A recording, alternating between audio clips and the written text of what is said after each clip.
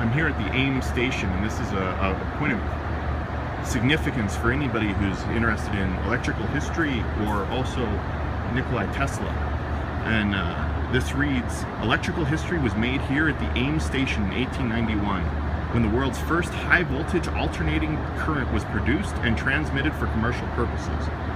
The achievement followed years of controversy among engineers and scientists, some of whom claimed alternating current would never work.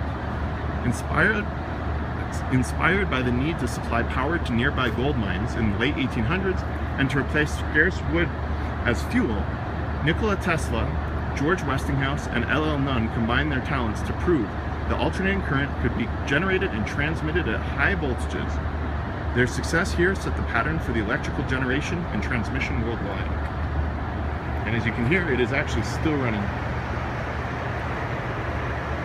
Walk over here and see if you can actually see the turbines